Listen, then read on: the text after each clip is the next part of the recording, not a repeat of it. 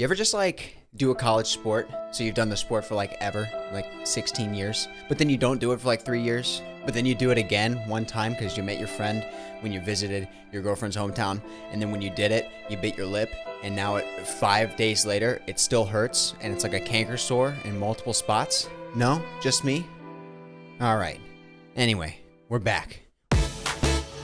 We've got ourselves a little mini micro update. October 14th, a couple good paragraphs in here, so I figured I might as well cover it because that's probably why you subscribe to this channel to begin with. Little micro update. After lots of balancing, the difference in skill between easy and ultra chaos difficulty is crazy at the moment. I'm liking that you really have to approach the game in a different way to succeed. In a different way to succeed. On the higher difficulties, each destructible on the map matters. Parentheses, grouping up enemies so that they pass by a, an AoE multi-eliminations. So for example, if it's an exploding, damaging rock, you can run past it, uh, train a bunch of enemies, you know, like you're training zombies in COD Zombies mode, and then shoot, turn around, shoot it, it explodes, boom, eliminates for you. Focusing on economy is way more important in Ultra Chaos, and mistakes are way more lethal. It's been very fine, fun to find a good sweet spot, and I'm still struggling to play on Ultra Chaos, which I think is a good thing. Hard difficulty should be hard. And this is, remember, Ultra Chaos, the fourth difficulty. Remember, we got easy, we got normal, we've got Nightmare, and then we have Ultra Chaos, completing Island 100 on Nightmare unlocks Ultra Chaos. At least that's the last time Noise talked about it.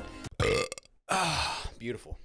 What, what is that? 5 out of 10? 7 out of 10? Burp? That's pretty good. Second of three paragraphs. Doing long playtests daily until the game feels ready, and one change that has gone a long way is that Horde Islands are no longer just defeat like six easy enemies, which felt very lackluster.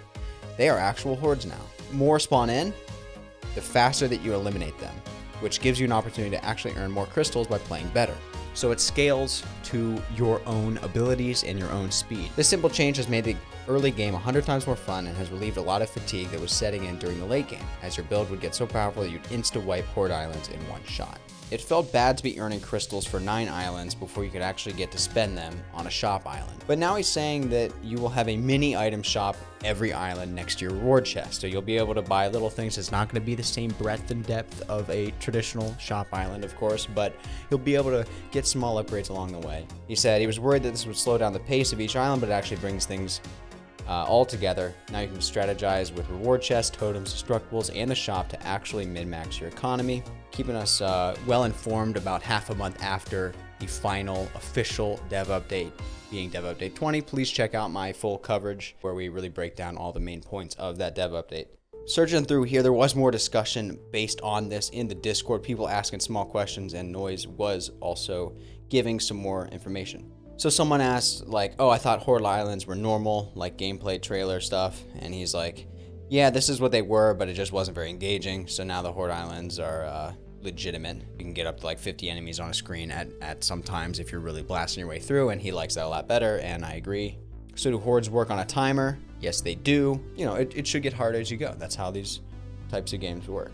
How many islands are time-based? He said roughly half the islands so per biome, you got about half of them that are time-based. Someone said, I like this specifically because it allows us to experiment with builds before committing to them, right? You're not stuck with a, a, purchase from a shop for nine plus islands until the next shop. You can buy something and then immediately turn around and sell it after one more island. So it definitely opens up a little bit more variety. Someone said, have all of these improvements been done since the update drop? Yes, along with the new visuals, which is the bulk of the work, but it's of course important to balance as I go and get final unfun parts of the game improved. You know, obviously he's still focusing on improving the assets and all the visual polish that he promised and spoke about at the end of Dev Update 20. Those are the final things to do, but naturally you run into different things that need rebalanced and this is a good example of a handful of things that needed rebalanced and have successfully been rebalanced. So personally, and I know a lot of other people in the Discord feel this way too, it's definitely gonna definitely gonna hit that end of year deadline for the closed beta. You know, he really held off on giving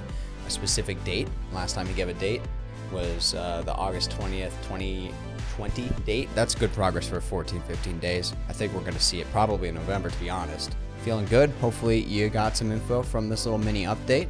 If you want to see all these combos, link in the description for the official Crab Champions Discord. Join the conversation. It also helps you get a little bit of a better chance at being picked for that closed beta. Also, like the video you made it this far. Clearly, you enjoyed it. And click that sub button. I'm going to be pumping out more videos uh, weekly until the game is in my hands, and then hopefully we can up that to a lot higher. So that's all I got. Bye. Thumbs up. Hell yeah. See ya.